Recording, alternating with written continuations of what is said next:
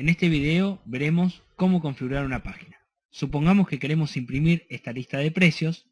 Voy a ir a la solapa Archivo y elijo la opción Imprimir. Aquí veo que eh, esta planilla de cálculo me ocupa nueve hojas.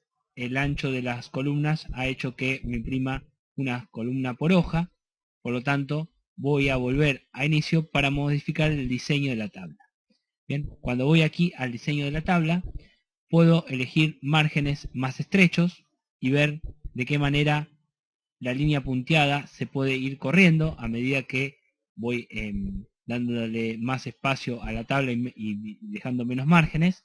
Si esto no es posible, vuelvo a intentar con los márgenes, en tratar de hacerlos personalizados, ponerle cero márgenes tanto a la parte superior, izquierda, inferior y derecha, y acepto y veo si la línea de puntos se corrió.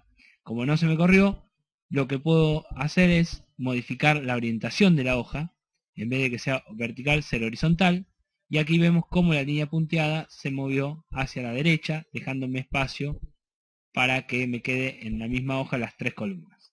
Para eso voy a ir a archivo otra vez, imprimir, y veo cómo de nueve hojas se pasó a tres hojas y con solo cambiar la orientación de la hoja. Previamente también había cambiado los márgenes para que sean eh, lo menos posible. Bien. Otra de las opciones que tengo en el diseño de la página es el tamaño de la hoja para eh, a la hora de imprimir ver si uso un estilo carta, A4 o de alguna otra hojas de alguna otra medida.